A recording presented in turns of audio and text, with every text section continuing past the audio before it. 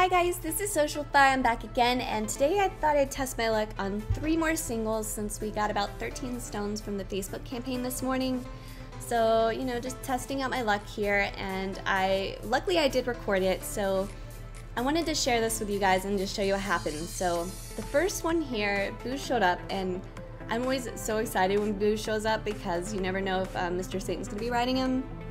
Uh, it was just him this, this time though, so First one, friggin' Yamcha shows up, and he is like my harbinger of bad luck, like my bad omen. He never brings me anything good, so I was right away, I'm just like, okay, maybe I should stop here. But I'm horrible with self-control, so I'm like, okay, I'll at least do two more. So Piccolo showed up the second one, and he usually does bring me good luck, so I was a little hopeful here. Um, you know, the last time I ran singles, I pulled full power Super Saiyan 4 Goku, and I had great luck there because I also pulled GT Cell. So I pulled Jaco this time, and I'm really thinking I should stop here, but I give it one more go because I set that limit at three.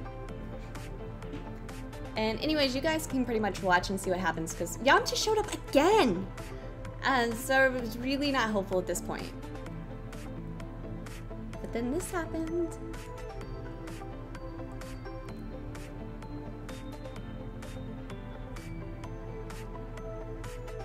I pulled friggin' LR Vegito on a single.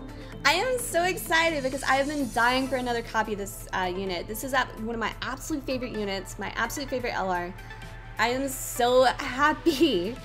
So um, I cannot believe this happened. Um, yeah, my luck, my bad luck streak with singles, and I guess apparently Yamcha is officially broken.